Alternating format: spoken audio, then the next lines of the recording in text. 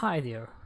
In this video I will gonna fix an issue that is my missing uh, hard drive icons issue. So it it's, it's quite an easy fix. So you ha you have to just simply um, go to registry edit by typing regedit and hit enter okay as I already opened it here.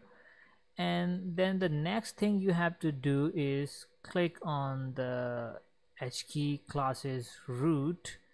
And then locate applications.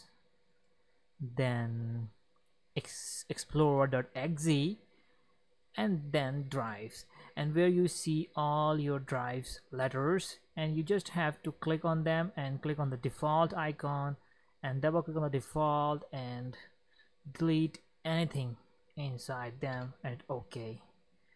And do this process for all the drives.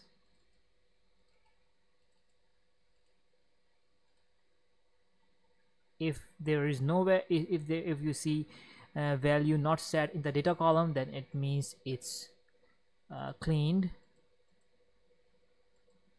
So I have done the process for all the drives and when I hit close and I hit refresh I was able to see all the drives icon. What an easy fix it is. You can try it out and let me know how it works. Thank you and please subscribe now. Thank you